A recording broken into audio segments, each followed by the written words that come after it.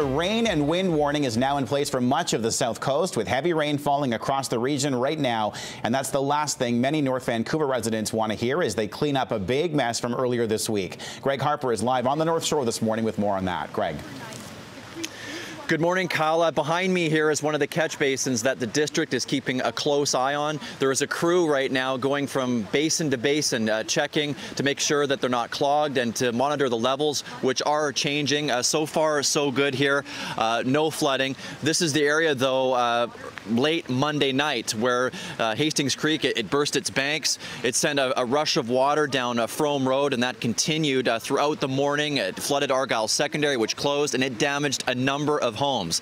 And this is the situation that many Lynn Valley residents find themselves in now. Uh, this is our very own Grant Marling, who works with us at uh, City. Uh, his basement was flooded. Uh, when the water did recede, it left nothing but thick mud uh, behind. Fortunately for Grant, he, he was covered by insurance. He's now waiting for a restoration company to come and help repair his home you just kind of have to take it as it comes. There's not a whole lot you can do. You can't fight that those torrents of water, really.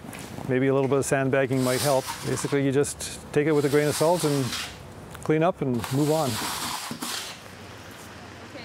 So there are many Lynn Valley residents who are uh, obviously worried this morning. There is a rainfall warning in effect. Uh, we could see 30 millimeters of rain in Metro Vancouver, possibly 40 millimeters of rain here on the North Shore.